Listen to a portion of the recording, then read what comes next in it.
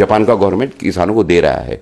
तो ये तरीके होते हैं, लेकिन इस तरीके से इन्होंने जो निकट्टूपन कर रहे हैं खुद की फेलियर्स बताने के लिए, मैं ऐसा समझता हूँ कि जनता ने ये जिनके लॉकडाउन फॉकडाउन है, व्यापारी जो है इन्होंने बिल्कुल नहीं मानना चाहिए। मेजोरिटी इज़ द लॉ होता है। अगर हज़ारों दुकानदारों ने सबने दुकान खोल के रख दिए, सबने दुकान खोल दिए, क्या करेंगे? कितने लोगों के ऊपर आप मुकदमे दाखिल करेंगे? क्या कर, और मुकदमे क्या दाखिल करना है?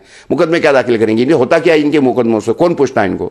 सादा सरल हज़ारों लोगों के लाखों लोगों के अगर मुकदमे दाखिल है। तो गवर्नमेंट की औकात नहीं है कि इनके इतने लोगों के ऊपर मुकदमे दाखिल करो और ये चलाओ। मैं मैं ये लोगों को आह्वान करता हूँ कि सब लोगों ने आगे आना चाहिए और ये जो गवर्नमेंट का जो षड्यंत्र है लोगों को घर में बंद करने का कि हमको सवाल मत पूछो तो इनको सवाल पूछिए।